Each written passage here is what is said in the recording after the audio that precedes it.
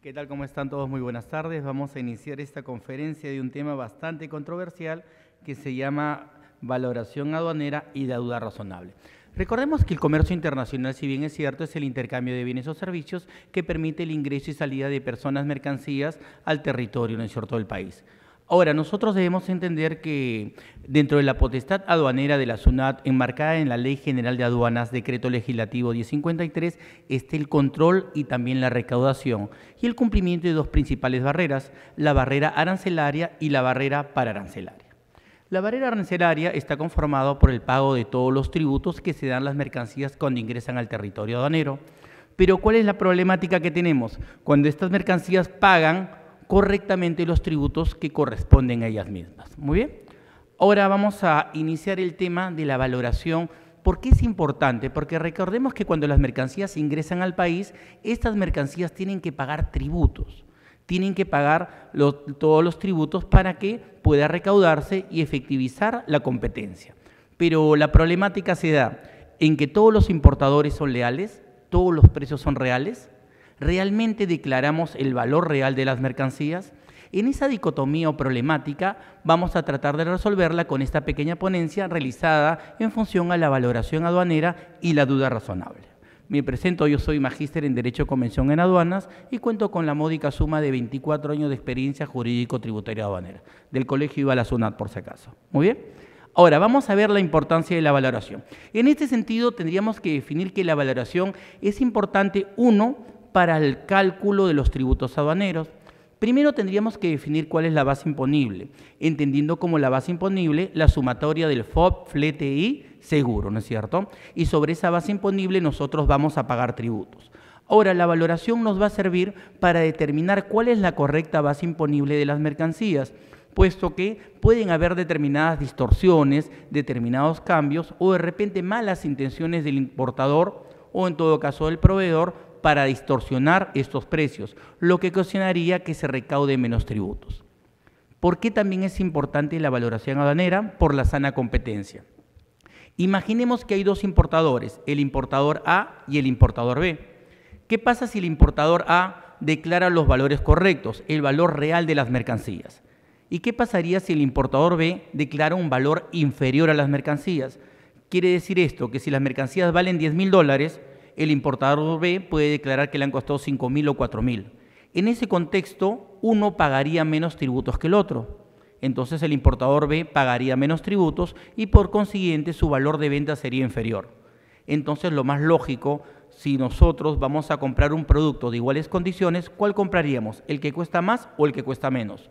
Lógicamente el que cuesta menos. Por ende, el importador que cumplió correctamente con declarar, pagó los tributos, saldría del mercado, puesto que no podría competir con los precios de un importador desleal. Asimismo, las estadísticas del comercio exterior. Acá estamos en Perú. Vamos a saber cuánto hemos vendido o hemos exportado o cuánto hemos comprado o importado. Pero, ¿qué pasa si yo distorsiono los precios? Si en lugar de, de haber importado 10 millones, bajo los valores y de repente puedo creer yo que he importado solamente 5 millones y también la valoración no solamente es en el régimen de importación, también se puede dar en el régimen de exportación.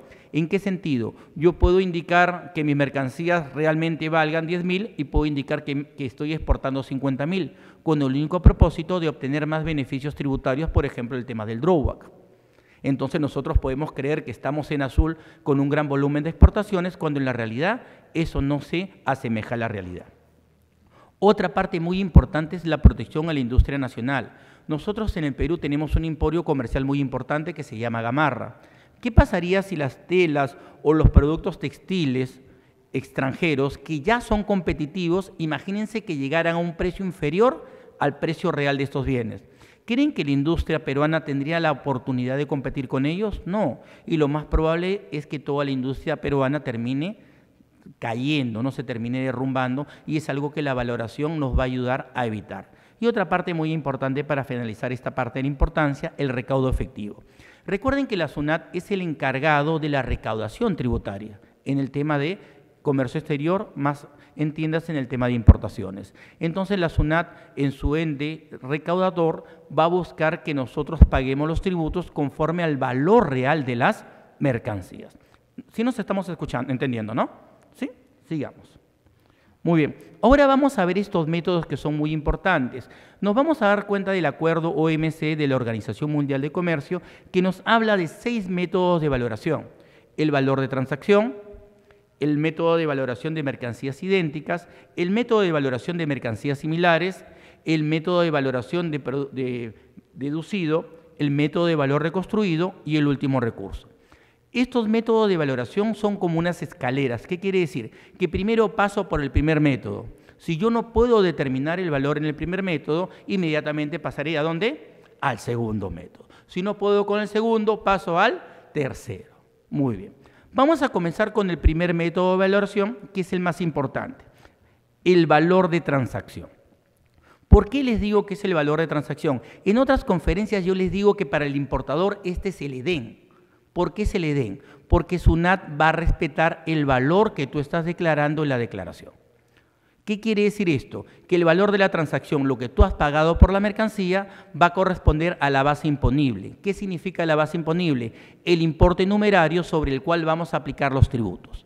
Ahora, en el método de valor de transacción que se encuentra regulado en el primer artículo del acuerdo, nos estipula claramente que el valor en aduana sobre el cual se aplican los impuestos, o mejor dicho, la tributación, será el valor de transacción, o sea, el precio realmente pagado por pagar. ¿Qué quiere decir ello? Que es todo lo que el comprador o importador ha pagado por las mercancías al vendedor y estos pagos pueden haberse dado en forma directa y asimismo como en forma indirecta, como vamos a ver más adelante en la presentación.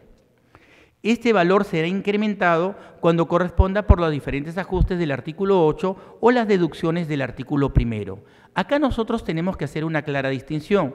Muchas veces creen, en el punto de vista aduanero, que el valor de la compra-venta internacional es exactamente igual a la base imponible. Y les digo, queridos este, participantes, no es así.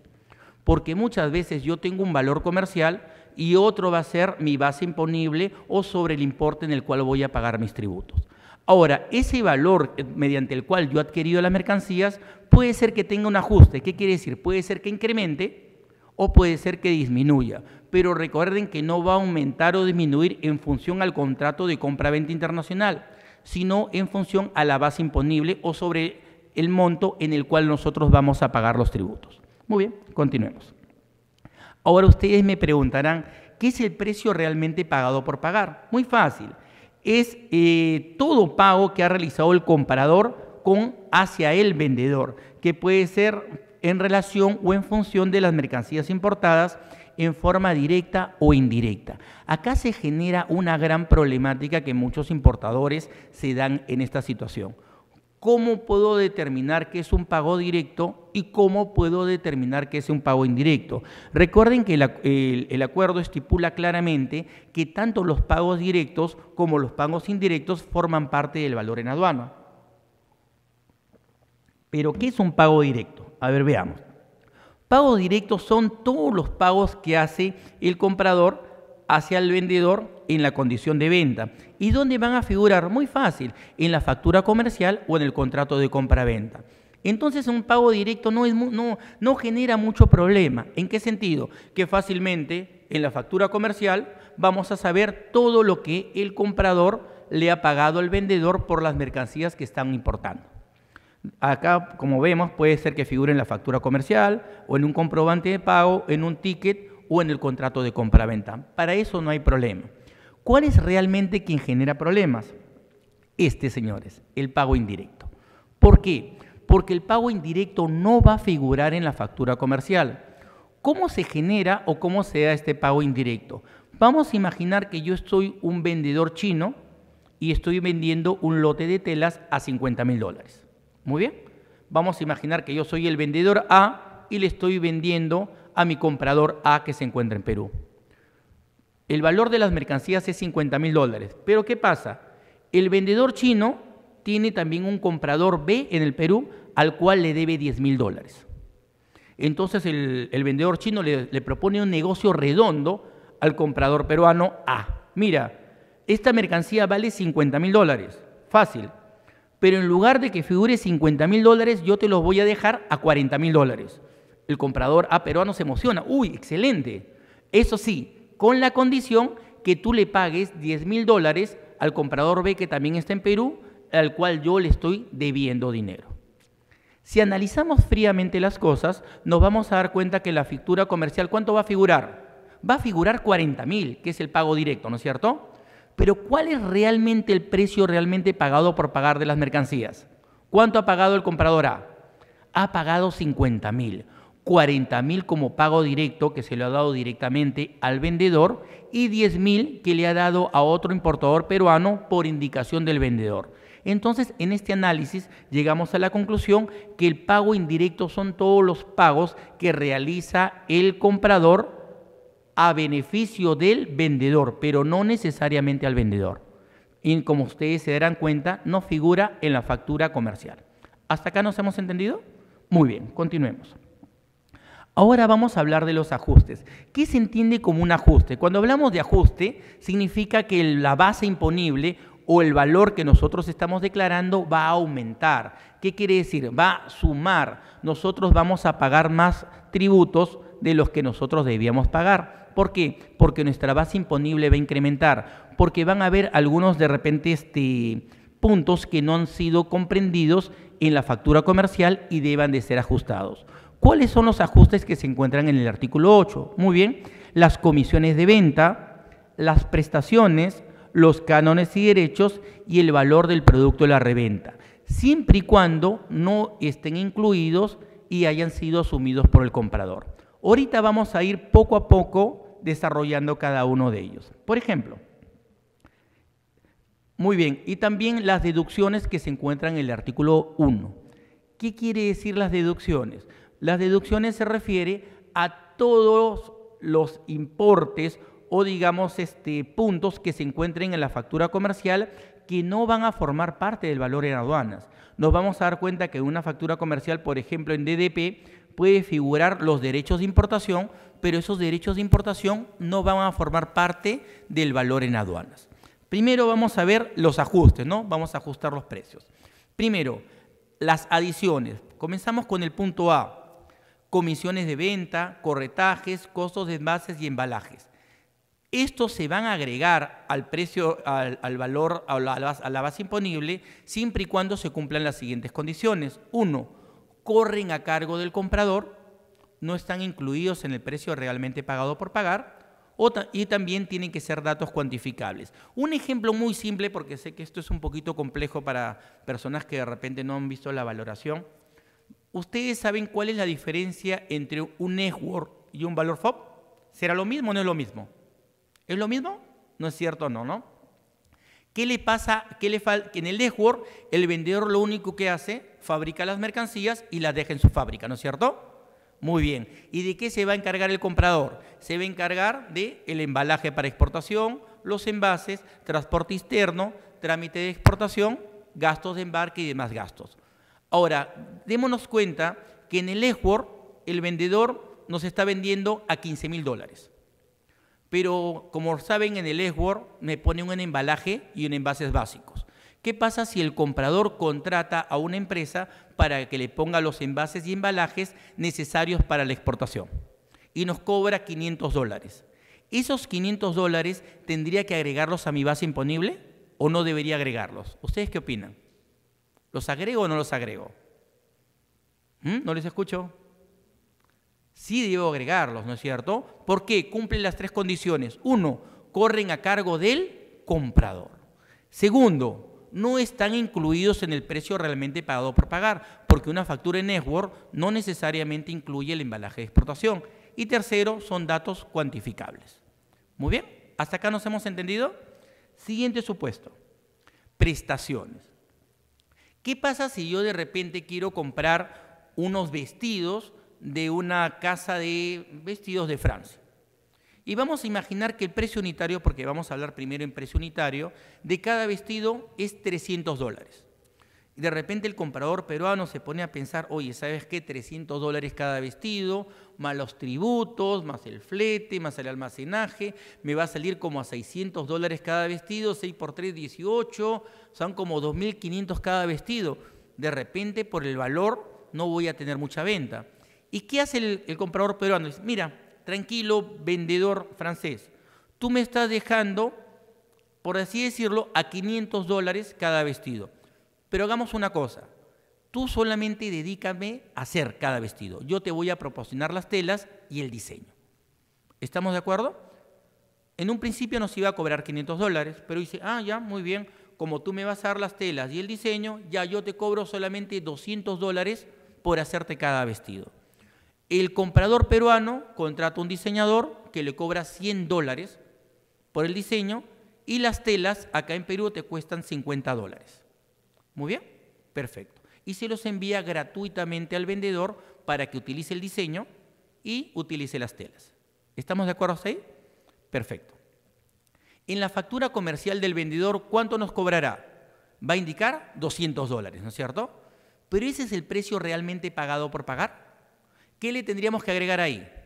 ¿Qué le falta? Las telas y el diseño.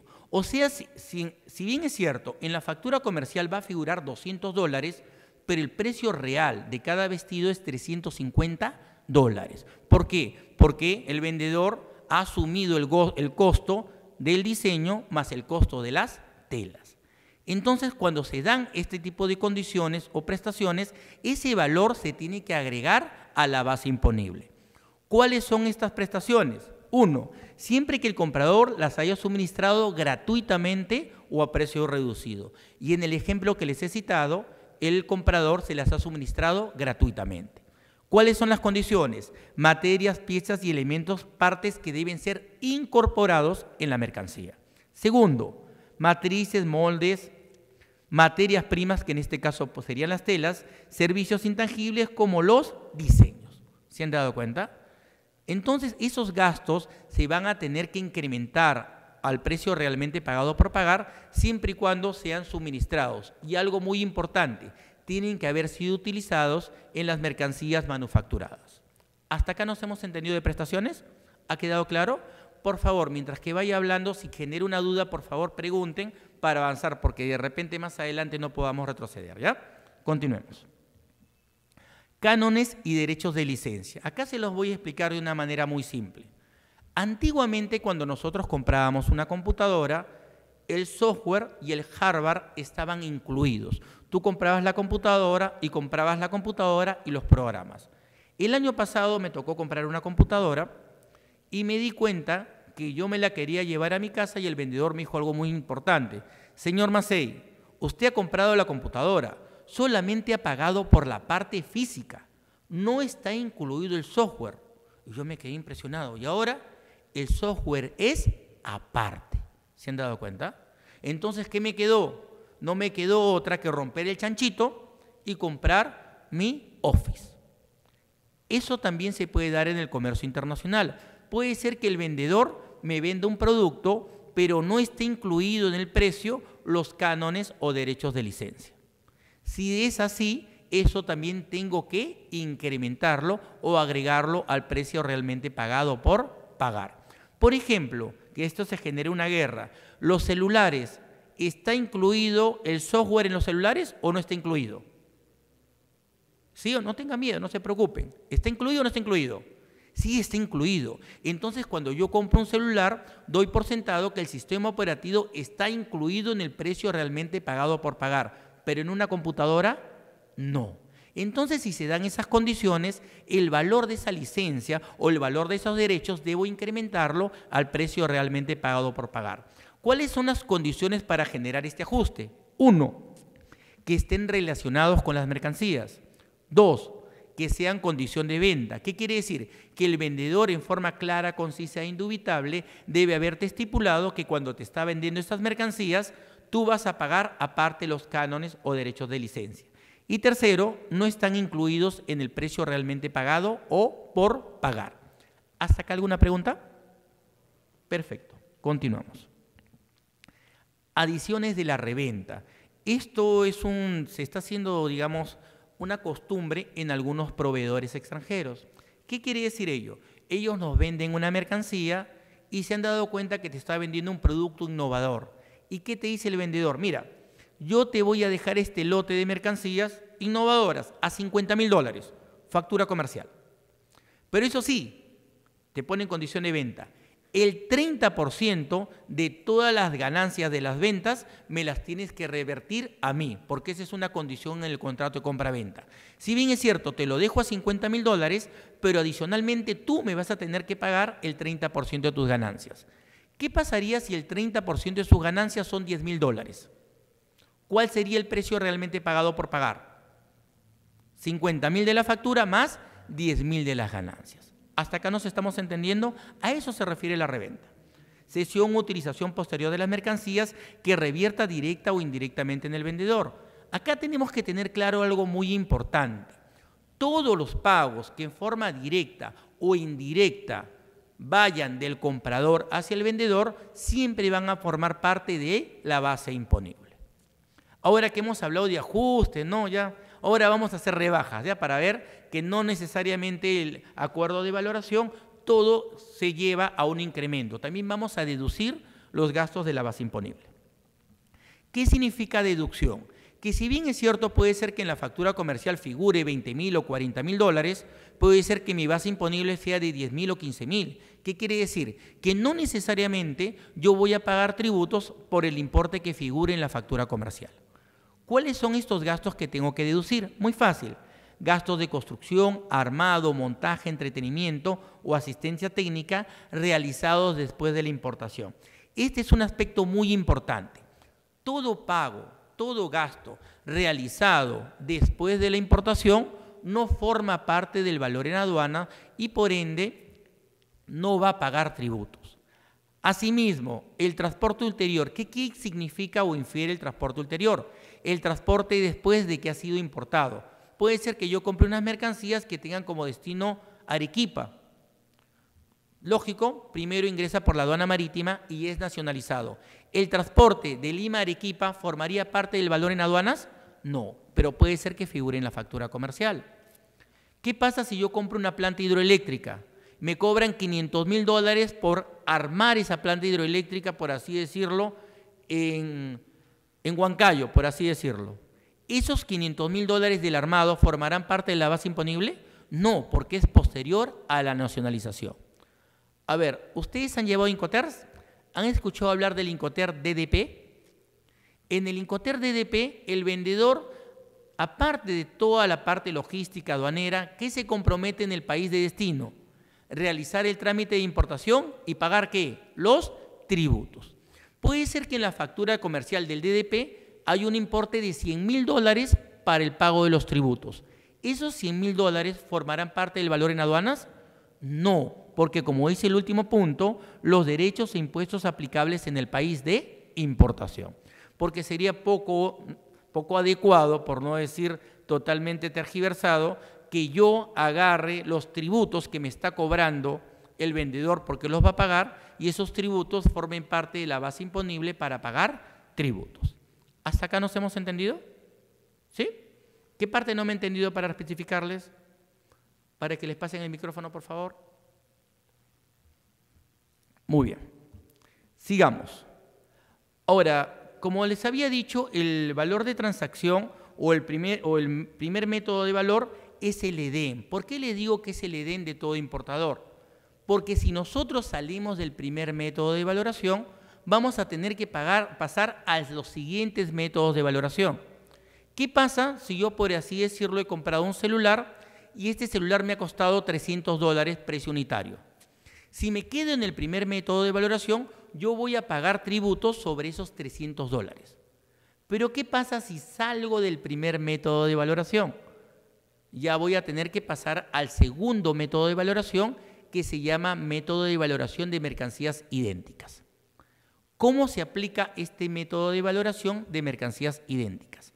Primero nos va a decir claramente, si yo no he podido valorar las mercancías por el primer método de valoración conocido como valor de transacción, obligatoriamente voy a tener que pasar al siguiente método, método de mercancías idénticas. ¿sí? Buenas tardes, una consulta. Eh, eh, para pasar al segundo método, se entiende que los pagos que yo he realizado al en este caso si yo soy importador, ya al vendedor, no han sido, eh, no han sido por el total de la, de la factura invoice, del invoice? No necesariamente. Como yo siempre digo en otras conferencias, Sunat, como siempre lo comparo, Sunat es como tu mami. ¿Por qué? Sunat dice que te cree, pero ¿realmente te cree? No, el principio de buena fe muchas veces se rompe. ¿Y cuándo se rompe el principio de buena fe? Cuando vamos a aplicar la parte segunda de esta ponencia, la duda razonable. Ah, quiere- ¿Cuándo se da la duda razonable? Cuando la autoridad aduanera duda del valor que tú has declarado. Y lo que tú tienes que hacer, como vamos a ver en la segunda parte, poder defenderte. ¿Qué quiere decir? Tú tratar de sustentar y mantenerte en el primer método de valoración. Porque si sales del primer método de valoración, ya pasas a los siguientes métodos de valoración. Esa parte lo voy a reforzar en la segunda parte que veamos la duda razonable. ¿Le parece? Para poder terminar con los métodos. ya, gracias. Me parece excelente que interactuemos, si no, no, si no yo doy por sentado que ustedes me entienden y quizá no me están entendiendo. Y esta parte sí es un poquito compleja. Muy bien. Recapitulemos. Vamos a imaginar que acá la señorita, ella es una importadora, ¿su nombre? María, la señorita Mesa es una importadora de celulares y el precio unitario de cada celular es 300 dólares. ¿Estamos de acuerdo? Muy bien. Si ella se queda en el primer método de valoración valor de transacción, va a pagar tributo sobre 300 dólares y esos 300 dólares va a ser su base imponible, valor FOB. Perfecto, al flete y seguro esa parte. Muy bien. Ahora, pero ¿qué pasa si SUNAT le presenta una duda razonable y ella o no presenta documentación o la documentación presentada no llega a quitar o terminar con la duda razonable? La autoridad aduanera puede definir que esta mercancía no se puede valorar por el primer método de valoración y pasamos al siguiente. ¿Cuál es el siguiente? Valoración de mercancías idénticas. Ahora, ¿qué pasaría? Tú has declarado 300 dólares, pero ¿qué pasa si hay un importador que está trayendo a 400, otro a 500 y otro a 600? Definitivamente te van a ajustar el valor. ¿A qué valor te van a aplicar? ¿Al de 300, 400 o 500? Al de 400, porque entre los mayor- valores se va a aplicar siempre el valor menor. Muy bien siempre y cuando todas las referencias de valor sean superiores al valor que tú estás declarando. Pero ¿qué pasaría si hay un importador que está trayendo esa mercancía idéntica a 250 dólares? Ahí se respeta el valor declarado.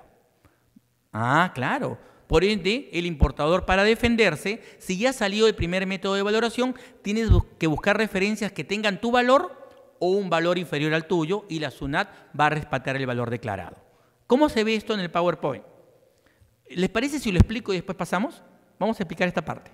Primero, para pasar al segundo método de valoración de mercancías idénticas, debo haber salido del primer método de valoración, duda razonable. Segundo, el valor en aduanas se utilizará determinando la transacción de una mercancía idéntica. ¿Qué es una mercancía idéntica? No requiere mayor análisis, que son idénticas en toda parte, modelo, marca y demás. ¿Qué más? Vendidas para la exportación al mismo país de importación. ¿Qué quiere decir? que la persona que está trayendo esa mercancía idéntica tiene que ser un importador peruano que ha comprado la mercancía en el mismo país de origen, probablemente del mismo proveedor, mismo nivel comercial y misma cantidad. Y entre todas las referencias de valor que vamos a encontrar, vamos a aplicar la referencia de valor de transacción más bajo. Ahora sí le atiendo. ¿Iba a preguntar? Agradezco la parte que estás comentando referente a, a este ejemplo, pero creo que hay dos momentos diferentes, ¿no? Eh, aplicar la duda de razonable involucra que ya eh, la SUNAT, en este caso, eh, tome, o aduanas, tome una posición de hacer la evaluación con el precio más bajo o comparado, o comparado en el segundo método, pero no te dé espacio a que tú primero puedas responder o sustentar la información que te está pidiendo por efecto de duda razonable. Entonces, es posible que esté en la facultad de acortar tiempos e irse directamente al segundo método. No, no, acá este, cuando presentamos la duda razonable, luego, luego, como les digo, ahorita estoy hablando de los métodos de valoración. Luego, cuando pasemos a la duda razonable, nos vamos a dar cuenta que la autoridad aduanera nos da un plazo de cinco días, ampliable a cinco días más, para que yo pueda sustentar. Si yo en ese plazo no sustento, ahí recién salgo del primer método de valoración. No es instantáneo. Nos van a tener, nos va a dar tiempo de defendernos. ¿Qué les parece si terminamos primero esta parte de los métodos y luego le damos de fondo a la duda razonable? ¿Les parece? Para no generar confusión. Vamos. Sí, buenas tardes. La consulta buenas es, tardes. eh, hizo el ejemplo con los celulares, ¿no? externamente. Es decir, un ejemplo nosotros. El Samsung es muy parecido a los llamados Huawei, más menos. entonces estamos hablando de mercancías similares, que sería el tercer método. Similares. Estoy hablando de ¿Qué pasa si la, la parte similar es externa y algunos mínimos valores, pero interna hay otro plus? Entonces, ¿qué pasa si, si yo traigo un celular parecido a 200 dólares, como lo indicó, y en el mercado voy a encontrar 500, 700 y me van a considerar que yo pagué 500? Cuando externamente parecidos, pero algo tiene que haber de marcar la diferencia. ¿Qué Muy hacer bien. en esa, en esa pregunta? A ver, Gracias. primero, muchas gracias. Ahora, ¿qué- vamos a terminar con esta parte y pasamos para poder responder a su pregunta. ¿Les parece? Ahora, les comento. Acá también una parte muy importante que se me escape. Aplicar el nivel comercial y la cantidad. Porque no va a ser lo mismo que yo le compre al fabricante que yo le compre a un detallista. Lógico, el fabricante va a vender a un valor más bajo y el detallista un valor más alto. Y también por la cantidad. Si usted ha comprado 10 celulares, yo no puedo hacer una comparación si usted ha comprado 10 mil, porque se supone que quien ha comprado 10 mil celulares, el valor va a ser menor. Ahora pasamos rápidamente para atender su pregunta al tercer método de valoración. ¿Qué es una mercancía similar? Similar son aquellas mercancías que son intercambiables entre sí que tienen la misma calidad, el mismo prestigio, pero pueden ser intercambiables. ¿Qué quiere decir? Que yo voy a utilizar una u otra mercancía. Primer requisito para pasar al método de valoración de mercancías similares, que no haya podido valorar en mercancías idénticas. Ahora, para que respondiendo a su pregunta, una mercancía similar es aquella mercancía que es intercambiable comercialmente entre una y otra, tiene la misma capacidad, las mismas características, los mismos usos. Puede darse, a ver mi celular para el selfie de un ratito, nos vamos a dar cuenta que yo externamente puedo ver este celular. Este es un celular Galaxy A50, pero puede ser que hay un celular de gama mucho más bajo, pero externamente se pueden ver iguales. Es más, a veces he ido a reuniones que me he terminado llevando el celular de un amigo. Y mi celular era mejor, ¿ah? o sea que yo no volví a recogerlo. Pero una cosa es la parte externa y otra parte es que sean intercambiables entre sí. ¿Qué es lo que tendríamos que ver? Las especificaciones del celular. Porque puede ser que un celular tenga, por así decirlo, un procesador, el otro puede ser que tenga cuatro procesadores. Eso es lo que tendríamos que ver, las características técnicas más que las externas. Cuando ya está, cuando ya aduanas te llama a la duda razonable, ¿cómo explicarlo después? Me parece que estamos hablando de celulares de la partida 85 17 12 0000, ¿no Yo el, el de celular lo siento como ejemplo. Ah, ya. Ah, no, Porque pero que le iba a decir, porque le iba a decir que esa partida paga 0% de tributos. Ah, ya. No, no, el celular lo siento como ejemplo. Yo me refiero a otros productos Ah, efectivamente. con el mismo tipo de problema. Entonces lo que nosotros tenemos que hacer en nuestra declaración claramente, buscar referencias de valor de una mercancía que tenga las características similares a la tuya. Entonces lo que podríamos hacer es que cuando tú presentes, te presenten la duda razonable, tú pedir una hoja técnica del producto para que vean las especificaciones y hacer un paralelo del producto con el cual te están comparando. Entonces si yo tengo una computadora de, por decir, de mil de un giga de procesamiento, no voy a compararla a una que tiene dos megas. ¿Muy bien? ¿Sí? Y te presenta aduanas dos alternativas. O lo pagas o te vas al proceso de evaluación que puedes correr un montón de riesgo. Y, y muchas veces, perdón para terminar, No y muchas veces tenemos que pagarlo porque es un gasto menor al otro lado del tiempo, Costo-beneficio. al tiempo. La pregunta es, si nosotros, si nosotros somos eh, un inversionista leal que por X motivo busca un producto, un buen producto de muy buena calidad a un buen precio, y acá tenemos que pagar estas cosas, ¿qué hacer para tener una oportunidad de mercado? Porque esto nos impone y tenemos que hacerlo. No se preocupen, en la parte Gracias. de duda razonable vamos a resolver eso, no se preocupen. Y justo para acá eso me invitó Pro Perú para darle los tips. Yo he trabajado tres años en la SUNAT, he trabajado en lo oscuro y en el lado oscuro de la fuerza y en la luz, así que les voy a dar algunos tips de verdad para que ustedes puedan hacerlo, con arreglo a ley, por supuesto, porque me están viendo a nivel nacional. Muy bien, vamos. A ver, dígame usted, a ver, el micrófono, por favor, que no, no, no hay una diferencia. Lo que sucede es cuando nosotros vamos a aplicar, yo voy a hacer la comparación, voy a hacer la comparación entre una mercancía idéntica.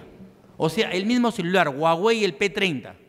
Pero si no encuentro el Huawei P30, voy a buscar uno similar.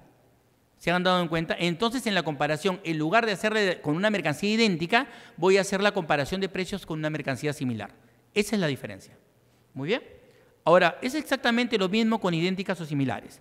Pero, ¿qué pasa si yo importo un producto, he ingresado a la duda razonable, no he encontrado un importador que importe mercancías idénticas, no han importado mercancías similares, entonces, ¿qué hace? Voy a buscar el producto, el producto que se vende en el mercado, acá en Saga, en, en Ripley, donde sea, y voy al valor de venta local, le voy a deducir. El valor deducido, ¿qué significa? Le voy a deducir los gastos de importación, el flete y comisiones de venta para tratar de llegar al valor de venta de este producto en el extranjero. Y de ahí hago la comparación de precios con el producto que estoy trayendo.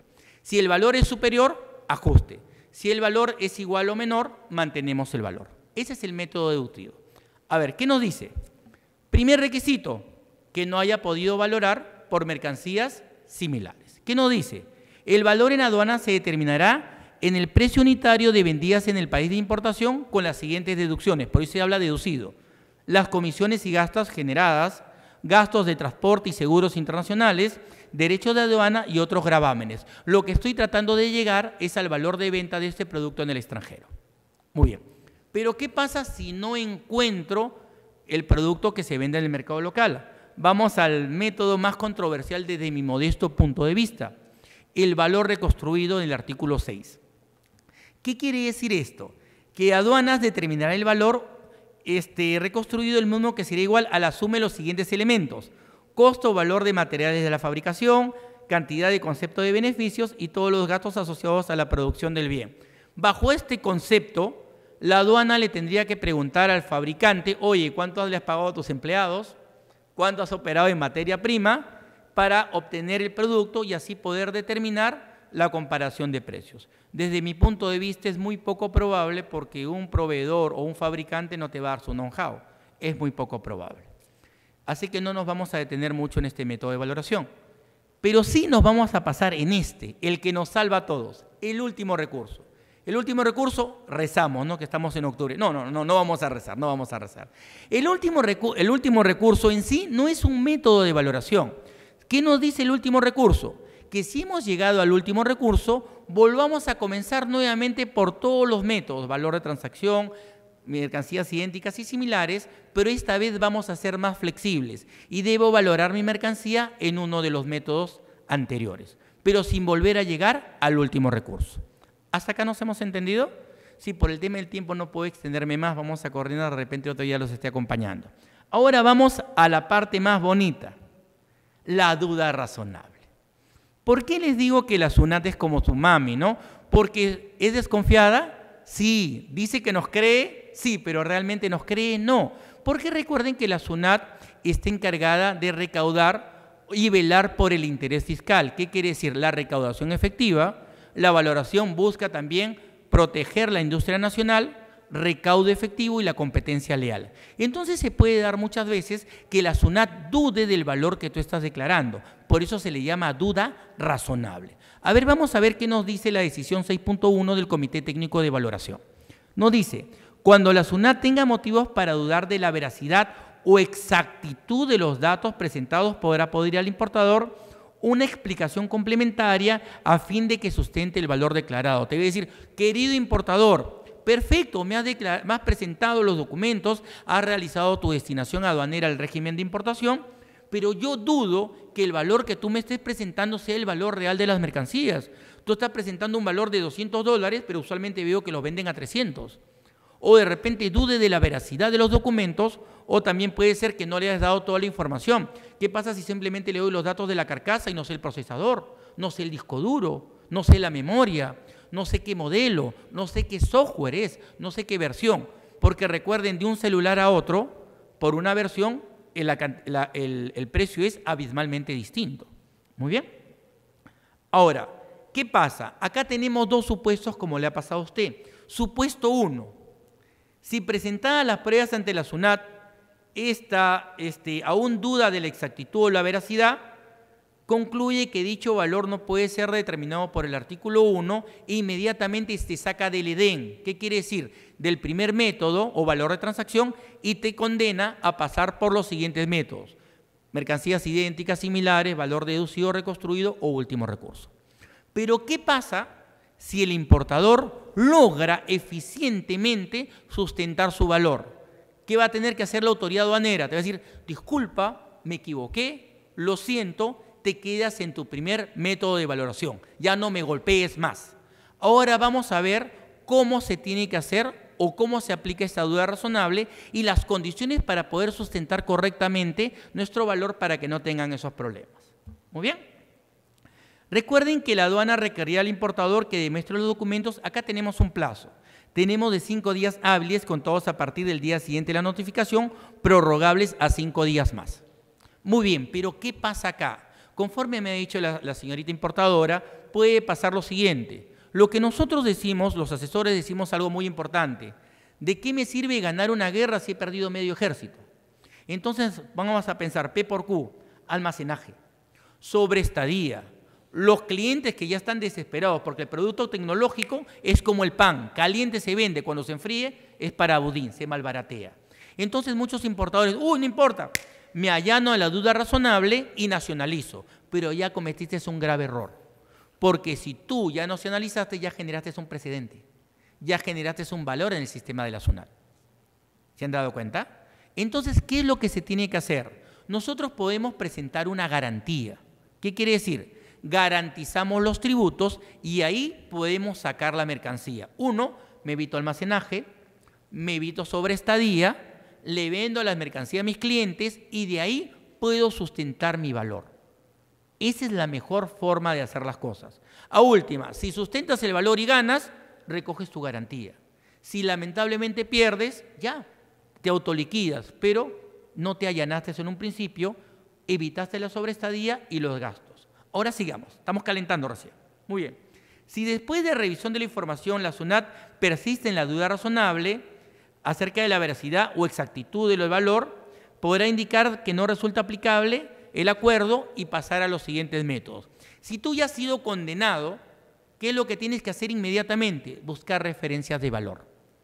Porque la SUNAT probablemente o el funcionario de repente simplemente va a tener el interés fiscal en la mente y te va a buscar las referencias de valor más altas.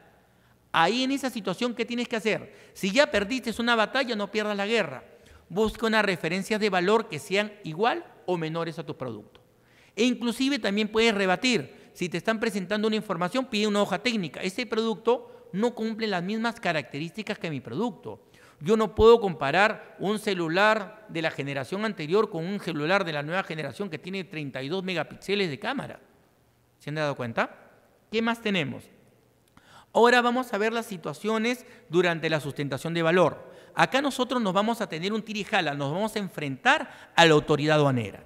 Primero, si el importador presenta la documentación sustentatoria del valor declarado y a consideración del funcionario aduanera, esta desvirtúa la duda razonable, por ende resulta aplicable el primer método de valoración. Vas a tu oficina, destapas tu champán, tu corona, limón y sal y celebras. ¿Qué quiere decir? Ganaste, triunfé vencí en este enfrentamiento o esta contienda a los especialistas de aduana. Pero cabe recalcar que, acá está cerca pues el Tribunal Fiscal, casi en, hace algunos años el 70% de los casos de valoración los ganaban ustedes. ¿Por qué? Porque la mayoría de especialistas en ese tiempo no conocía o no aplicaba correctamente los métodos de valoración. Y hoy ya les voy a dar unos tips adicionales de cómo hacerlo. Segundo, ¿qué pasa? Si el importador no hubiera presentado documentación. Oye, preséntame la documentación. No la tengo o no la presenté. O también se puede dar otra cosa. No cuentas con la documentación. Tenemos cinco días más cinco días más. O la documentación presentada a consideración del funcionario no llega a desvirtuar la duda razonable. ¿Qué pasa acá? El funcionario aduanero notifica al importador la confirmación de la duda razonable y la no aplicación del artículo 1, solicitando que presente referencias para aplicar los demás métodos de valoración. Como les dije hace un momento, ahí ya he perdido una batalla, pero he perdido la guerra, no he perdido la guerra, porque aún tengo trabajo que hacer. ya tienes que presionar a tu agente de aduanas o si tú estás importando directamente, tienes que buscar referencias de valor del producto. Y recuerden que tienen que tener en cuenta algo muy importante. Yo no voy a tener la misma referencia de valor si yo he importado 10.000 unidades y me estás comparando con una persona que ha traído 500 unidades. Por cantidad, lógico que mi precio tiene que ser menor. Y también no se puede aplacar la misma comparación de precios si tú le estás comprando a un detallista y yo le estoy comprando directamente al fabricante. Recuerden, eso tenemos que tener en cuenta. Continuamos. Ahora, les vamos a hablar del alfa y el omega del tema de cómo sustentar correctamente el valor. Yo como asesor de comercio internacional le digo a los importadores lo siguiente, cuando ya llegó tu mercancía, ya está en un depósito temporal, es el peor momento para prepararte para una duda razonable. Es la peor situación, porque prácticamente nos agarran sobre el tiempo, nos agarran con el estrés y con la angustia. ¿Cuándo uno debe prepararse para la duda razonable? Cuando estamos haciendo la negociación o la compra-venta o la mercancía está en travesía. ¿Qué les quiere decir esto? antes de que se presente la duda razonable, yo ya debo haber acopiado toda la información o la documentación con las características esenciales para poder desvistar esa duda razonable. ¿Qué les quiero decir? Nosotros tenemos que prepararnos para esta contienda con la administración aduanera. ¿Cuál es la documentación que tengo que obtener o debo tener antes de inclusive que llegue la mercancía? Primero, la DAN de exportación. Porque recuerden que en el comercio internacional se habla del intercambio de bienes o servicios. ¿Cuál es la forma legal en que esa mercancía debe haber salido del país de origen? Como una exportación. Y en esa exportación, adivinen qué, va a indicar los detalles de las mercancías y un aporte muy importante que le interesa a la SUNAT, el valor. ¿Se han dado cuenta? Otra parte importante, las transferencias bancarias. Ahora se está, es más, creo que se está privilegiando mucho que se sistematice o bancarice todo. Entonces, si yo tengo mis transferencias bancarias, recuerden que tienen que ser del comprador hacia el vendedor con algunas características que vamos a ver más adelante. Tercero, lista de precios. Y recuerden que después vamos a detallar lo que debe contener esa lista de precios. Esa lista de precios tiene que ser genérica. Y nosotros poder tener claramente, mira, este proveedor vende, mira, acá está su lista de precios. Y tienen que presentarla a la autoridad aduanera. Y tercero, los registros o libros contables. Ahora recuerden que la SUNAT le encanta la formalidad. Entonces yo tengo que ya tener mi empresa bien constituida con mis asientos contables, con los ingresos de capital. Y esos documentos deben estar de conformidad con el procedimiento DESPA 0110A. Pero no se preocupen, les he preparado un resumen para esta clase. A ver, primero, las transferencias bancarias. Primero tienen que decir el concepto de pago, ¿no? o sea, nos tiene que indicar si estamos pagando la factura. Tiene que decir que esa transferencia sobre qué factura le estamos realizando o si no sobre la orden de compra, entendiendo que esa orden de compra se va a relacionar a una factura. Porque recuerden que un importador realiza una importación, no realiza una importación, realiza varias importaciones. Entonces yo no solamente tengo que probar que le he pagado al proveedor, sino que ese pago corresponde a la mercancía que, está, que ha sido o se encuentra en la duda razonable, ¿no? Muy bien. Segundo, si el pago corresponde a más de una factura, se indique en detalle a las facturas precisando el monto de cada factura. He, depositado 100 mil dólares, sí, pero esos 100 mil dólares, 50 mil es para la factura 1, 30 mil para la factura 2 y 20 mil para la factura 3. Y así nosotros podemos corroborar en forma fehaciente que a Sunat, mira, yo he pagado, este es realmente lo que yo he pagado por las mercancías. ¿Qué más? La forma de pago. Se indica si es un pago total o parcial, pago contado diferido. Oye, Sunat, mira, acá en la transferencia me dice que es el pago total. Es lo que yo he pagado por el total de las mercancías. Entonces cumple al precio realmente pagado por pagar. ¿Qué más tenemos? Identificación del importador. Realmente recuerden que yo no puedo agarrar, oye, el importador sí, ya, acá la, no, la transferencia tiene que ser hecha por el mismo importador hacia tu proveedor de las mercancías. Es un requisito indispensable. Yo tengo que probar que yo he solicitado la transferencia y tiene que ser hecha con el capital de mi empresa hacia el proveedor o vendedor. Y otra parte muy importante, identificar al vendedor. Se indica nombre razón social del vendedor o el beneficiario del pago que tiene que ser el mismo que emitido la factura comercial. ¿Qué más tenemos? Identificación de quién solicita la transferencia. Se indica el nombre completo y el documento de identificación de quién ha solicitado la transferencia bancaria. Muy bien. Hemos cerrado con el tema de transferencias. Miren, han tomado nota, ¿no? Tenemos que decir quién paga, a quién le paga. Tengo que relacionar la transferencia con una factura, indicar si es monto total o monto parcial. Muy bien, perfecto. En la lista de precios, Acá se genera una problemática, porque muchas veces yo le pido la lista de precios solamente para el producto que estoy importando, no, y que me manden una lista de precios direccionada solamente para mí, no, craso error. Tengo que pedirle una lista de precios general, la que él venda productos a todo el mundo, porque la SUNAT puede pensar que esa lista de precios está direccionada a bajar el precio. Y también tiene que indicar toda la gama de productos que le está vendiendo. Muy bien, vamos a ver las condiciones. Información mínima que debe contener esta lista de precios. La razón del vendedor, que ya lo sabemos. La unidad de comercialización, si son unidades, docenas, kilos, pies. Condiciones de entrega. Precio unitario del producto, que es muy importante. Periodo de vigencia, porque recuerden que una lista de precios tiene un tiempo de vigencia. Forma de pago. Descuentos otorgados comisiones y firma de la persona autorizada del proveedor extranjero. Muy bien. ¿Qué más tenemos? Listas de precios deben tener carácter de generalidad aun cuando sean dirigidos a un cliente en específico. ¿Qué quiere decir? Que debe ser la lista de precios que el proveedor aplique para todos, que no sea, solamente sea la lista de precios que yo estoy aplicando. ¿Qué más tenemos?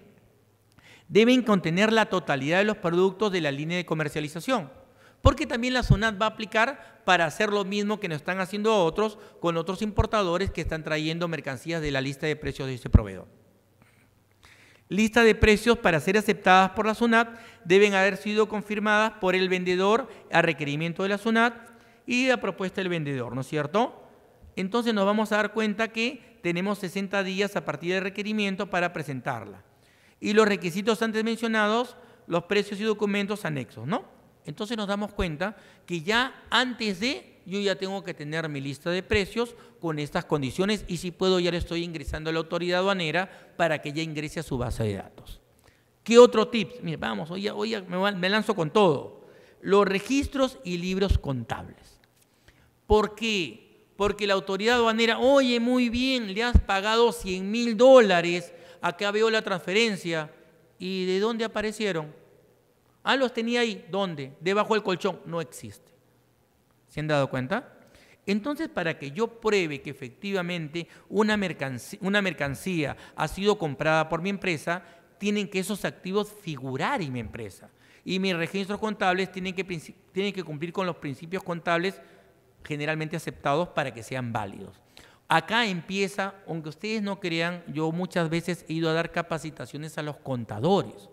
Imagínense, abogado con contador nos odiamos naturalmente. Es como la alianza y la U, de verdad, es igualitos, igualitos. Cristianos católicos, sean duros ahí. Exactamente. ¿Por qué? Porque los contadores también en su contabilidad tienen que ser muy prolijos y muy cuidadosos en las transferencias, en los asientos y en el registro de compras. Porque yo no puedo decir, ah, andaba de Miami con 40 mil dólares. No, tiene que salir ese dinero de la empresa. Y ese dinero que estoy pagando tiene que ingresar a la empresa. ¿Qué nos dice de los registros contables? Para efectos de los previstos en el Decreto Supremo 009-2004, se entiende que los registros o libros contables están incompletos cuando el importador no cuenta con los libros exigibles. Ya pues no le quisiste pagar al contador, o el contador pues trabaja en el tren eléctrico, es medio vagón, no mantiene sus registros actualizados y ya te generó un gran problema por el simple hecho de no tener tus registros contables. Por ende yo les digo, un operador, un importador de comercio exterior tiene que tener toda su, empresa correctamente formalizada. ¿Qué más tenemos? No cuenta con los libros exigibles, imagínense. estos no son llevados cumpliendo las formalidades establecidas. Esta es una bomba de tiempo. Y recuerden que SUNAT aplica tanto para tributos internos como tributos aduaneros. O sea, puede ser que salgas, vayas a buscar lana y termines trasquilado con una fiscalización. Y dichos libros dentro de los plazos, y esos libros deben haber sido registrados en las operaciones en los plazos establecidos. Oye, justo antes de que te presenta la duda razonable, te pones a llenar todos los registros. ¿Se han dado cuenta? Eso es lo que genera mucha problemática en función a la duda razonable. Con esto es la parte teórica y ahora tenemos un determinado tiempo para atender todas las preguntas relacionadas a la ponencia y ya nos podemos extender. ¿Muy bien? ¿Preguntas, por favor? A ver, aprovechen. A ver, vamos por ahí. Ahora sí vamos a conversar un poquito más tendido. Ya la veo que está sonriendo. Eso es muy importante. Por el conocimiento, gracias. Eh, si ha pasado todo esto que uno ha pagado, el, tema que nos el precio que nos han impuesto, porque no había otra, o, el agente de aduana no nos recomendó el, tema de la, el tema de la garantía, ¿se puede eh, seguir posterior de eso reclamando ese pago, sustentando, o, ya nos metimos ahí? Mm, mm. Como yo siempre digo, ¿no? A veces cuando nosotros nos allanamos a una duda razonable es como un matrimonio. Tú dices, sí, acepto. Si es bueno, chévere, ¿no? Si es malo, ya, no hay divorcio. Lamentablemente, ¿qué sucede con esto? Que muchas veces los importadores sin querer generan un precedente. Entonces ya generas un precedente de valor. ¿Cómo se deberían hacer correctamente las cosas? Porque para eso me han invitado acá para un Perú. Primero, si yo antes de realizar el despacho, se han dado cuenta, primero tengo que agarrar al contador, si es medio flojo, un par de cachetadas, oye, ponte a trabajar y tenme saneado todos mis registros contables. Segundo, todos los pagos nada en efectivo que te transfiero a la cuenta del vecino, de tu primo, de tu amigo, no. Cuentas con transferencia de la empresa a la cuenta de la empresa que me está vendiendo, indicando la factura, la orden de compra que pueda relacionar, indicando las condiciones de pago. ¿Qué más necesito? Pedir la lista de precios y algo muy importante, la dan de exportación. ¿Por qué les digo eso? Porque muchas veces demora y algunos vendedores no nos dan la dan de exportación. Porque de repente ellos han dado un valor distinto para coger al drawback, no lo sé. Pero ya con toda esa documentación tú ya tienes con qué sustentar. Ahora, durante la sustentación yo no diría que ustedes se allanen a la duda razonable, sino que presenten una garantía. ¿Qué es la garantía? El valor de los tributos que correspondería el valor que te están sugiriendo que debes tú a este, autoliquidarte o al ajuste. Entonces ya, una vez que has presentado tu garantía, lo agarras a tu agencia de aduanas, un par de cabezazos contra la pared, que es bueno para que reaccione y que empiece a copiar toda la documentación y presente. inclusive también puedes presentar también una lista de precios de referencia del producto buscando lógico, uno que valga más o que valga menos, valga menos. Entonces ahí ya estás luchando en ambos frentes. Y si a última ya no puedes ganar, ahí ya das por consolidada y aceptada la duda razonable.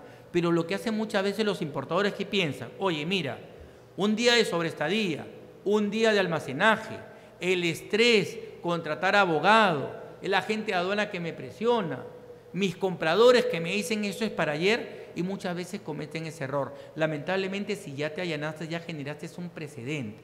Entonces sería bueno que de acá para adelante empiecen a trabajar. Aunque ustedes no crean, el despacho de importación, la importación de las mercancías no comienza con la destinación, comienza desde la negociación comercial internacional.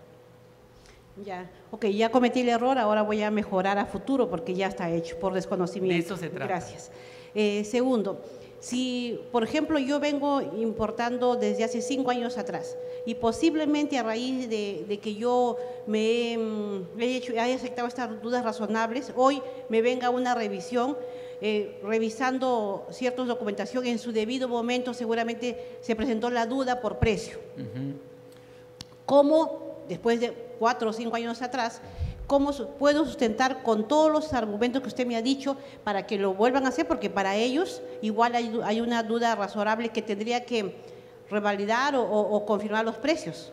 Ahora este, hay, un criterio. Recuerden que la Intendencia Nacional de, Prevención del Contrabando y Fiscalización Aduanera es encargada del control aduanero. Recuerden que según la potestad aduanera estipulada en la Ley General de Aduanas, Decreto Legislativo 1053, la autoridad aduanera, mediante su potestad, ejerce el control. El control aduanero se da antes, durante y después.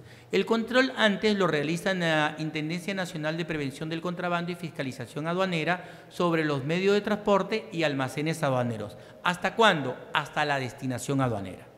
A partir de la destinación aduanera lo realizan las aduanas operativas, o sea, la aduana marítima, la aduana aérea y postal, ¿sobre quién? Sobre los importadores y beneficiarios. ¿Hasta cuándo? Desde la destinación hasta el levante. Después del levante ¿Quién hace el control aduanero? La Intendencia Nacional de Prevención del Contrabando y Fiscalización Aduanera. ¿Cuál es el plazo para yo hacer esa fiscalización? Es de cuatro años computados a partir del año siguiente de la numeración o destinación. Entonces, ¿qué queremos decir? En ese plazo hay un tiempo en el cual la SUNAT puede fiscalizar. Como yo siempre les digo muchas veces a algunas agencias de aduana que trabajamos con ellos, en que nosotros tenemos que preparar el despacho, es, el despacho es una carrera, es una maratón. Y algunos piensan que es una carrera de 50 o 100 metros planos. No, el despacho aduanero de las mercancías es una maratón. ¿Por qué? Porque no comienza con la destinación ni termina con el levante. Termina después del plazo que tiene la oportunidad de fiscalizarte la SUNAT, que puede ser 4, 5 años por lo menos. Una vez que has concluido eso, recién ya te saca las zapatillas y ya acabó la maratón, porque ya la zona no te puede fiscalizar ni ajustar. Por ende, muchos importadores tienden a ser muy poco prolijos o poco formales en relación a la documentación que ellos tienen. ¿Y qué pasa? La autoridad aduanera puede, y te encanta, faltando cuatro años y ocho meses, te vienen a fiscalizar. ¿Qué pasa si la gente de aduanas pues estuvo con ráfagas, se dedicó al alcohol y ni siquiera subo prolijo de tener la documentación? ¿Mm? ¿Qué pasa si no has gastado tus registros contables? ¿Qué pasa si no tienes tus transferencias? ¿Qué pasa si no tienes la DAN de exportación? ¿Se han dado cuenta? Y ese es, y los de Intendencia Nacional de Prevención del Contrabando, ellos van a cumplir su trabajo, que es fiscalizar y velar por el interés fiscal. Por ende, ustedes, operadores de comercio exterior, tienen que ser muy cuidadosos cuando van a realizar sus despachos. Ah, la factura la cambié, ya, ya me llegará la rectificación, ya salió Canal Verde, Yupi. No, como les vuelvo a repetir, este es una maratón. Y muchas agencias de aduana también piensan lo mismo, piensan que es una maratón, es un, es un 50 metros planos, ya, y lo guardan como sea, si hay un documento hay que obtenerlo. Y como les digo, en lo que hemos visto hace un momento, hoy mi cara se vayan a asustar, muy bien, en lo que hemos visto hace un momento, este debe ser el alfa y omega de todo despacho de importación. Y no solamente porque piensen que en el canal rojo van a salir este, premiados. Recuerden que la autoridad aduanera, conforme a ley, solamente del 5 al 15% de despachos sale en canal rojo. Lo demás sale en canal verde y un porcentaje menor naranja.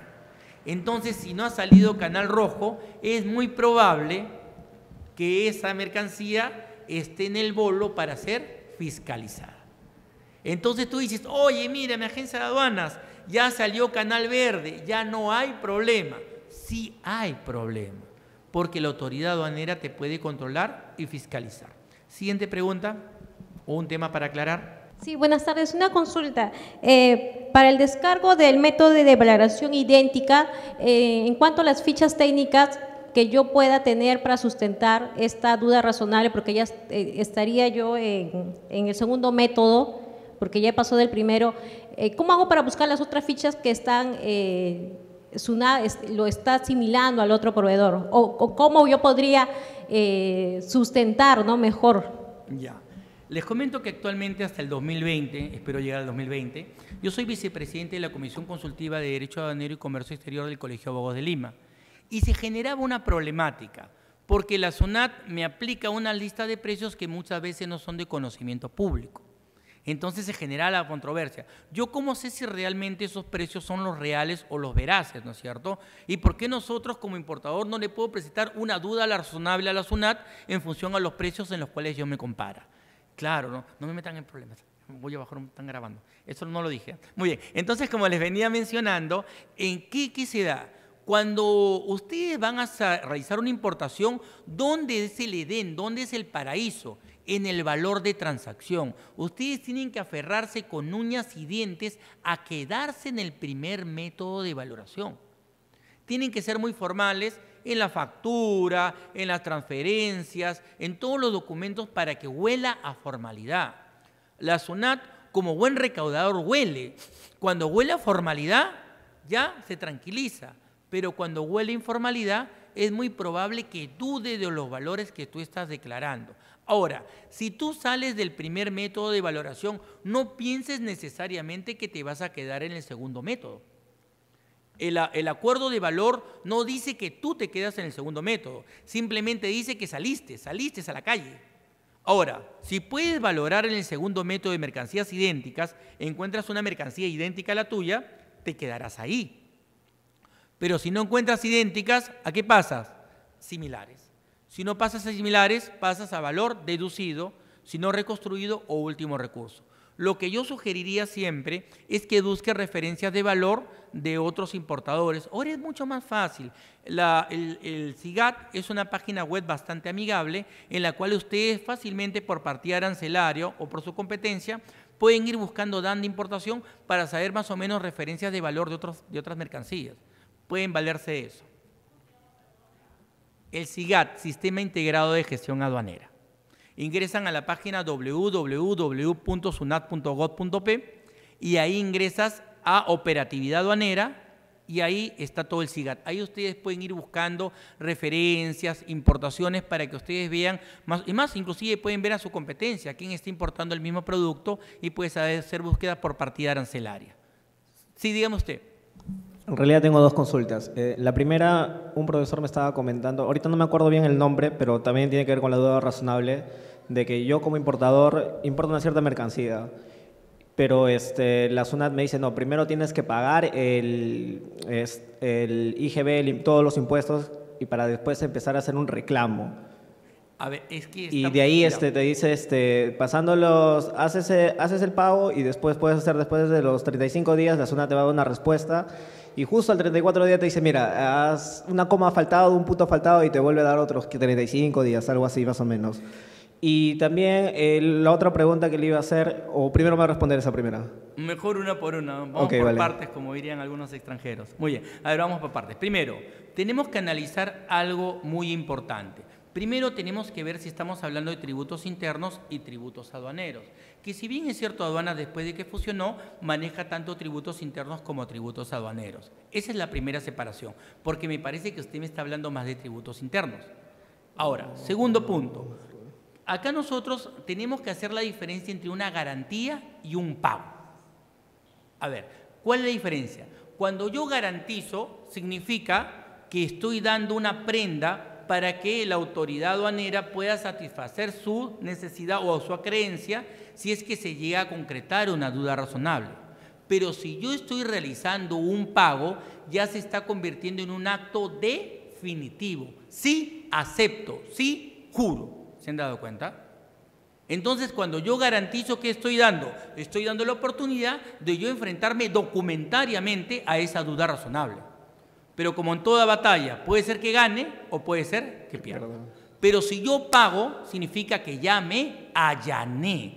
Estoy dando, por cierto, esa duda razonable. Siguiente pregunta. Eh, la siguiente pregunta es, vamos a suponer de que yo traiga anillos, por decir, de un país y supere el valor de más o menos mil dólares. Lo llevo en la maleta eh, al momento que la zona de inspecciona, tengo, tengo que hacer los pagos yo este, del transporte, del seguro y de la, más de la mercancía con mi factura o solamente de la mercancía. Y también me puede aplicar ahí también la duda razonable dentro del aeropuerto o no se puede, o tiene que ser todo embarcado. Primero tenemos que definir, no en el derecho, como dicen, parece que todo fuera lo mismo y no es lo mismo.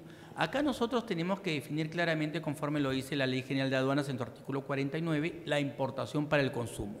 ¿Qué nos dice la importación para el consumo? Régimen aduanero que permite el ingreso al territorio aduanero de mercancías extranjeras mediante el pago tributo de la deuda tributaria aduanera y demás tributos correspondientes a la importación, los intereses y las multas correspondientes. Punto y aparte. Las mercancías extranjeras se considerarán nacionalizadas una vez que haya sido obtenido el levante. Pero me habla para el consumo.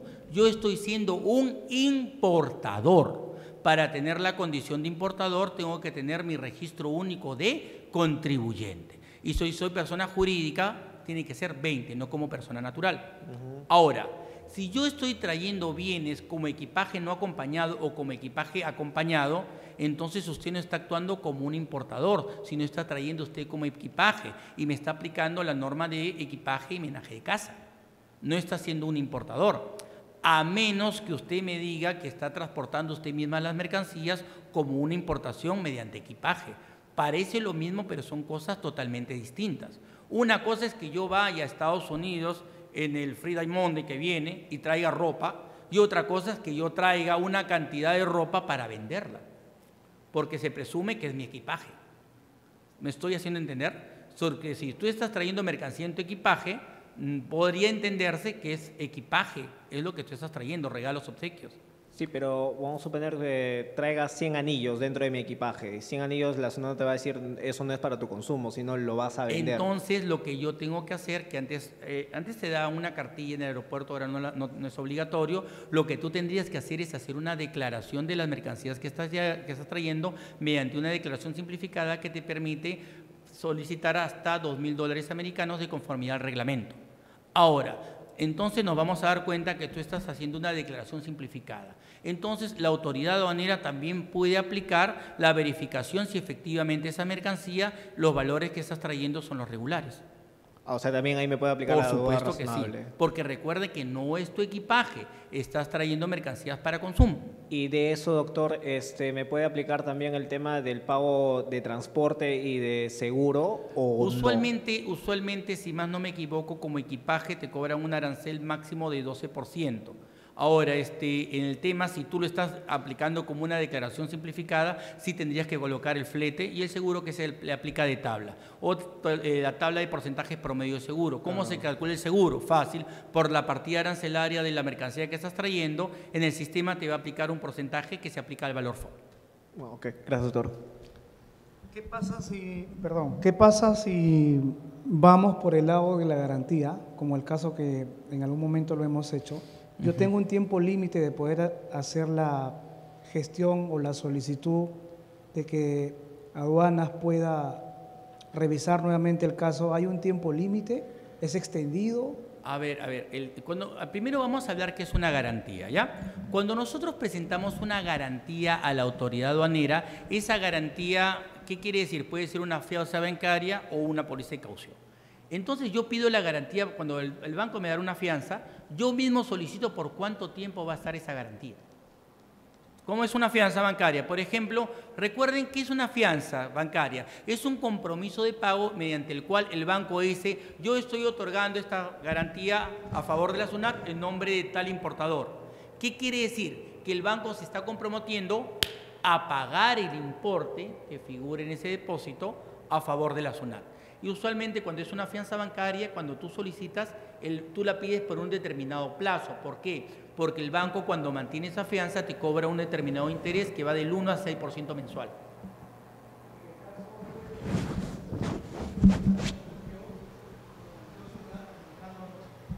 Pagan ustedes el ajuste por duda razonable y luego ustedes pueden ingresar su reclamo y hacerlo. Ah, ya, entonces. Porque usted en otro momento dijo, si ya lo pagaste, pero si estás pagando el ajuste, eh, tú te estás allanando. Pero nos estamos allanando con la advertencia que dice la administración tributaria. Te está diciendo, págalo y luego presenta. Y después reclama. Sí. Sí, e, ese también es. A ver, nosotros nos damos cuenta que la zona también tiene una modalidad que se llama pagos indebidos o en exceso, o puedo reclamar el valor. Ahora, como siempre yo digo, hay dos modalidades, ¿no? Yo lo que, como yo pienso, como yo creo, es mejor verlo directamente en el tema de durante el despacho. Ahora, si no vas en el despacho, haces tu reclamación. Si no, te vas por contencioso administrativo y terminas acá cerca en la Javier Prado en el Tribunal Fiscal. Pero, ¿cuál, se- perdón, ¿cuál sería la alternativa si pasó eso, no? Porque Simplemente cuando, hacer, hacer tu reclamación, Después. hacer tu reclamación y la autoridad aduanera lo más, lo más lógico que va a hacer, ¿qué creen que va a hacer? Se va a confirmar que el valor está confirmado. Solamente- es lo, es lo- lo práctico que va a hacer. Solamente esta pregunta que, que nosotros como consumidores nos, ve- nos vemos en esta oportunidad. Todos los que estamos acá queremos o estamos importando algo, pero lo que queremos es tener un, un precio con un costo bien, un, un- un precio razonable, un costo razonable para Claro. ser competitivos en el mercado. Por supuesto. Dentro de eso, nosotros posiblemente invertimos, no sé, viajes, consultas, lo que sea, para buscar un fabricante y un buen producto, para, obtener, para traerlo acá al país y ser competitivos. La pregunta es, si yo soy, he, trabajado un montón, llego acá y luego llego siendo transparente y leal con todo, ¿cómo, me, cómo argumento, cómo me defiendo cuando la, su- cuando la aduanas me dice, tu precio no es del mercado? No, no, no. Entonces, ese es totalmente anacrónico. Antiguamente con el precio, el GAT, se hablaba precio usual de venta. Acá se habla de después de la OMC que fue creada en el año 1995 después de la ronda del Uruguay, mediante el cual se, se juntaron 123 países y fue confirmado en la ronda de Marrakech.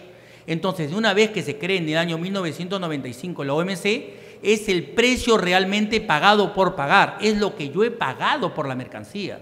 Lo que usted me está diciendo es con antes del 95, cuando estaba haciendo mis pininos en agencias de aduana. Entonces nosotros tenemos que darnos cuenta que es el precio realmente pagado por pagar. Si yo pruebo que he pagado un dólar por este vaso, así tú hayas pagado cinco, yo me quedo en mi dólar porque es a mí lo que me ha costado y lo que he pagado por él. Pero aduanas no me respeta eso, a mí me ha hecho eso, no me respeta. Y es mi reclamo y es porque quiero venir, porque uno invierte, demostró que invierte. China, no, to- todos los productos chinos son los fabricantes, muchos son los que, lo que, la, la parte comercial. Yo fui un día, digamos así, encontré al fabricante y directamente me vendió un buen producto, un buen precio. Lo conseguí, viajé, X cosa. Llego acá y aduanas me dice que ese no es el precio.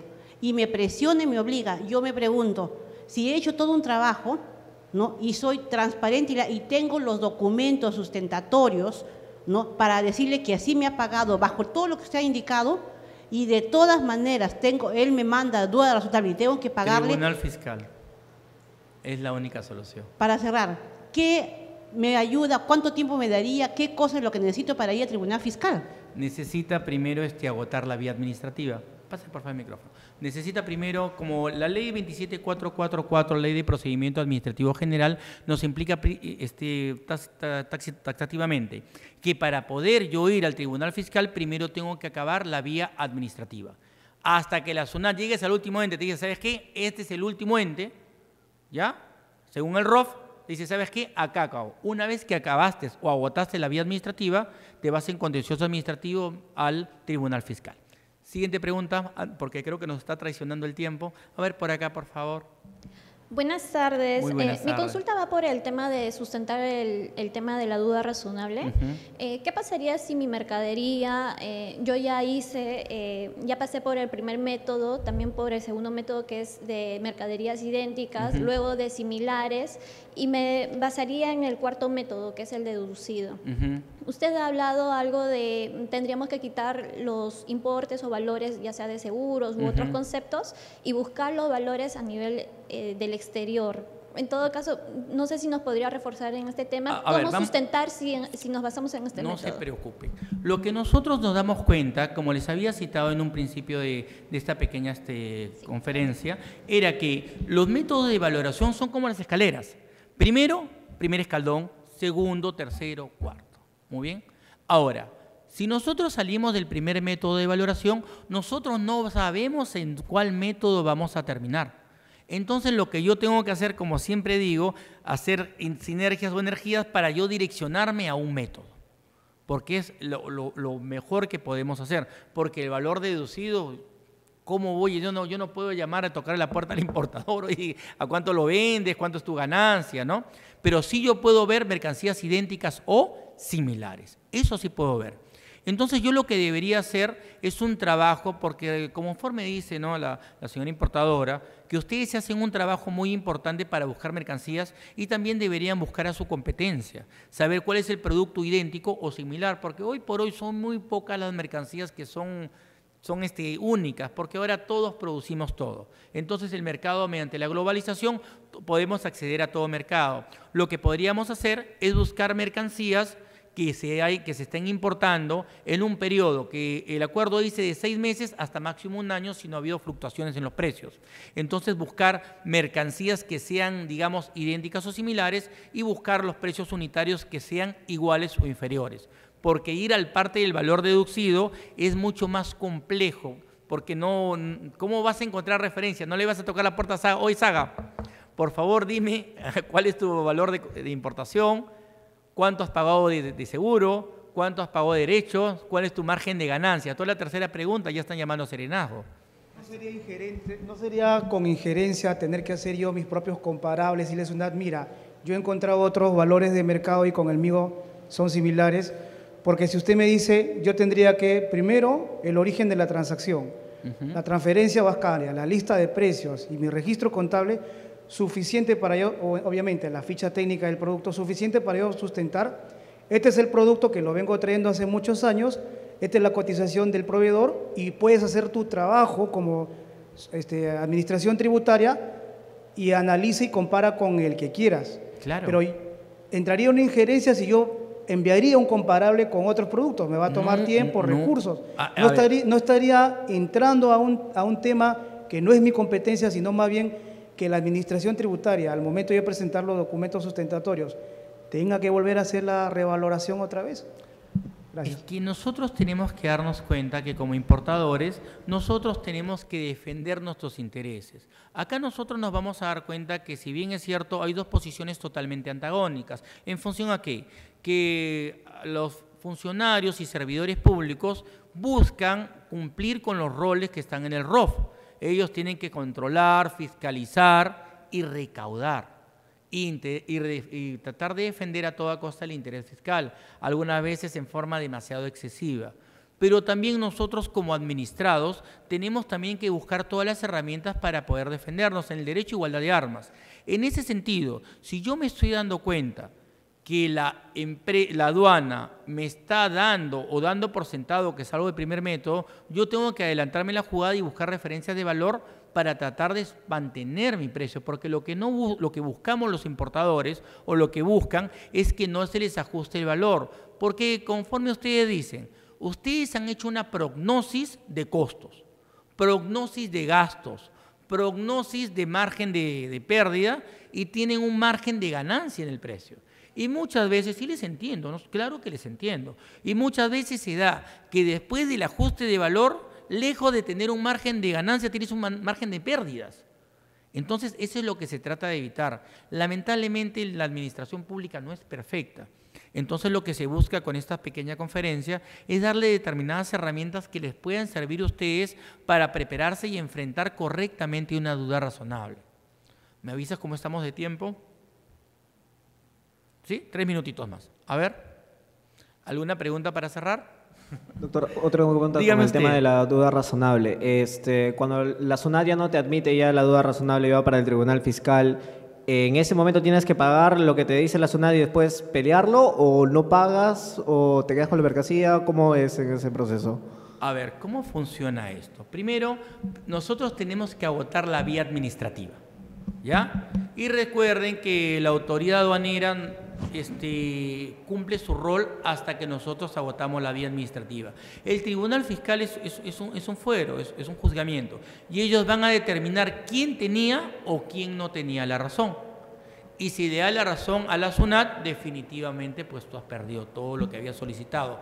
Pero si te da la razón a ti, la SUNAT va a tener que pagarte lo que tú has pagado de más con los intereses correspondientes. La garantía, ahí todavía no he pagado los impuestos, ¿cierto? Eh, a ver, es que, es que me parece que estamos cambiando. Porque recuerden que cuando hemos garantizado, ¿nos hemos allanado? No, todavía no. Todavía. Estamos, estamos disputando, ¿no? Estamos en, el, en el tirijala a ver si yo logro terminar o dar por terminada la duda razonable y me quedo en el primer método o la SUNAT me está jalando para sacarme el primer método. Yo me acuerdo de jovencitos jugábamos a San Miguel, ¿no? Es un tir y jala. Tú te quieres quedar en el primer método y la SUNAT va a querer en la duda razonable sacarte del primer método de valoración. En ese interín, ¿qué pasa? Conforme dicen los importadores que nos han manifestado, ahí se genera el P por Q. Gasto, costo-beneficio. Oye, voy a pelearme almacenaje, sobre estadía, pago del abogado, pago de agencia de aduanas. Y es posible que gane o que pierda. Todo abogado te va a decir, ya litiga, pero yo no he venido a decirles eso, sino mandaría mis tarjetas a todo el mundo. Lo que nosotros hemos venido es asesorar. Entonces muchas veces eh, se pone a pensar fríamente el importador, se tranquiliza, cuánto estoy ganando, cuánto estoy perdiendo y muchas veces como un banco lo dice, el tiempo es dinero. Entonces de repente me, curo de estrés y termino el tema ahí. O si no, si tú confirmas o simplemente sigues la lucha, contratas a un abogado y continúas hasta agotar la vía administrativa e irte al tribunal fiscal. Ahora, en el tribunal fiscal no piensen también que el proceso va a terminar en una semana. 12 meses. Más claro, por lo menos estamos hablando de plazos aproximados. Dígame cómo estamos en plazo porque tenemos que terminar. Una última pregunta del público virtual. A ver. Eh, la pregunta es de Gabriela y Garza. Eh, buenas tardes. Dice, en el caso de exportar al mismo precio a otro país, pues la empresa importadora mantiene la misma razón social. Mm, por lo que entiendo dice si se puede exportar al mismo precio hacia otro país. A ver, Acá nosotros tenemos que hacer una distinción y con esto cerramos, espero que les haya gustado la conferencia. Tenemos que darnos cuenta que el artículo 60 del decreto legislativo 1053 define el régimen de exportación definitiva como el régimen aduanero que permite la salida en forma definitiva de mercancías nacionales o extranjeras o nacionalizadas para su uso o consumo definitivo en el exterior. Punto y aparte, la exportación definitiva no está grabada con tributos. Miren la diferencia. Mediante que en la importación nosotros pagamos tributos, en la exportación no pagamos tributos y obtenemos beneficios tributarios aduaneros. Más bien, ¿dónde se da el tema o la problemática en valoración? Cuando nosotros nos acogemos al, régimen de restitución simplificada de derechos arancelarios, conocido como el drawback. Entonces, como me van a devolver un porcentaje del valor FAUD de mis exportaciones y como la exportación no paga tributos, ¿qué hago? Sube, sube, sube, sube como la espuma. Entonces, si mi exportación iba a ser de 20 mil, le pongo 50 mil. Y, obtengo más drawback. Pero el problema no lo voy a generar acá. El problema, ¿a quién se lo voy a generar? En destino. Porque si la mercancía valía 20 mil dólares, en destino va a valer, oye, 50 mil.